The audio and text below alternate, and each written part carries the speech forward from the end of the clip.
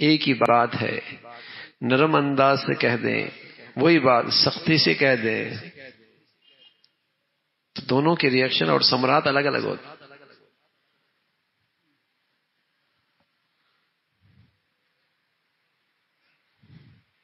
अच्छे अल्फाज से आपने उसको काम पे कहा। और हकारत और सख्ती के अंदाज से आपने सामने वाले को काम से कहा। दोनों में बड़ा फ़र्क है। उसका, दोनों का असर उसके दिल पे होगा।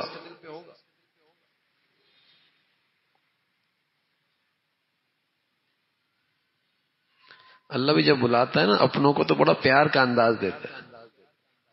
कहता है, या यूहल्लदीन आ मानो उलमा ने लिखा, ये ऐसा ही है कि अल्लाह ने उस रिश्ते का वास्ता दिया जो बंदे और अल्लाह के दरमियान में वो क्या ईमान का रिश्ता, ईमान का ताल तो जब बंदा कहता है, बेटे, बेटी जो इसमें मिठास है, वो किसी और चीज़ में तो नहीं होता ना?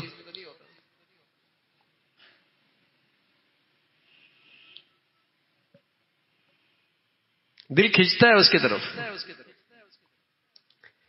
अल्फाज की मिठास आदमी के दिल में जगह बना देती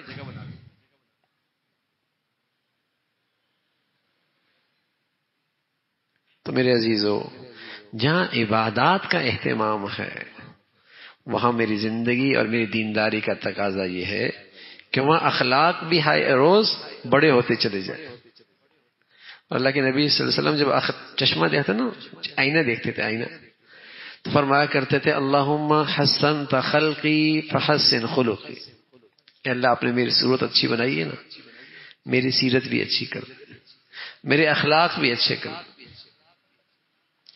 इसलिए कि सूरत से तो आँखें खुश होती हैं और सीरत से आदमी का दिल खुश होता है। सूरत से आँखें लज्जत पाती हैं। सीरत और किरदार और अखलाक से दिल जगह बना लेते है। दिल खुश होता है। आदमी दिलों में बैठ जाता है। आदमी दिलों में बैठ जाता है। और फिर कभी याद रहे, हमेशा याद रहता हाँ। याद इसके साथ सफ़र किया था। इसके साथ ज़िंदगी के चंद दिन गुजरे थे। हाँ इसके साथ हमने मामला किया था। हमेशा इसके खैर के तस्कर चलते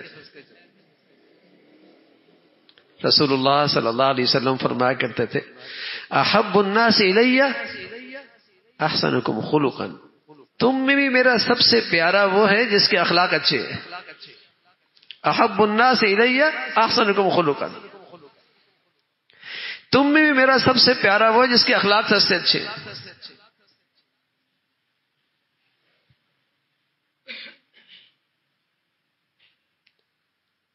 तो आदत बन जाए थोड़ी सी तवज्जो करनी पड़ती है।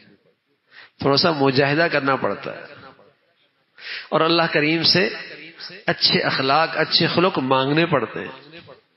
तो फिर अल्लाह की इजाज़त से उम्मीद है, ये चीज़ें आदत में आ जाती आदत में आ जाती है।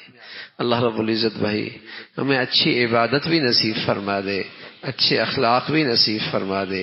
जो कुछ कहा सुना, अल्लाह करीम अमल की तौफीक नसीब फरमाए।